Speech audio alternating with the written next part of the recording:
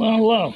Well, I'm out testing my new win, or one win, excuse me, uh, shoulder cloak. It's raining out, snowing, sleeting. Stop, thought I'd stop for some coffee and, and uh, a bite to eat.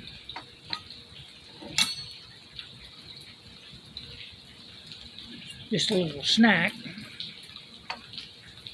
So, so far, uh, it's kept me good and dry. I got a little chilled, but that's not the Onewind's fault. it, uh, it's just one of them days.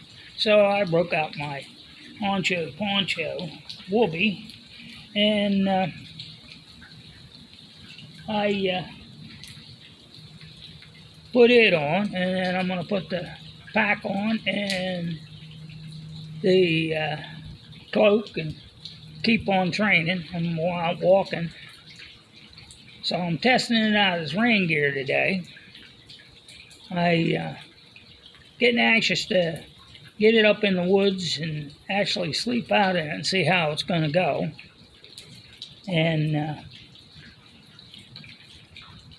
so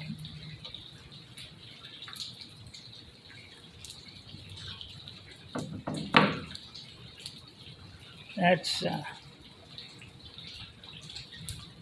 that's what's on for today. Yeah, you try try your gear out before you go on a trail. Well, catch you later.